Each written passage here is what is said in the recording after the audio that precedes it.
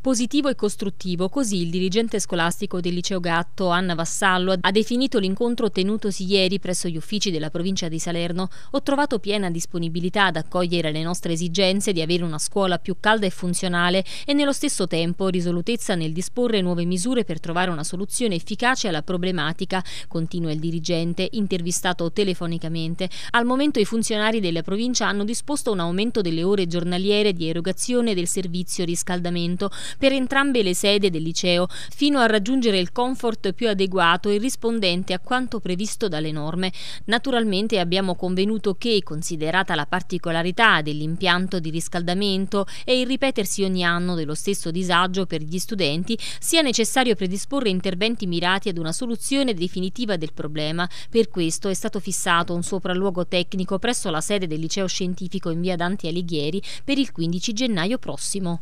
Sono certa che con la collaborazione costante e professionale dei funzionari e dei tecnici della provincia riusciremo a trovare soluzioni adeguate ad un problema che eh, si ripresenta ogni anno nelle medesime modalità è necessario però eh, cominciare ora e perseguire l'obiettivo, perché i nostri ragazzi hanno il diritto di vivere la loro esperienza scolastica in ambienti che siano quanto più possibile confortevoli e noi dobbiamo tutelare in primis il loro diritto allo studio in siffatti ambienti.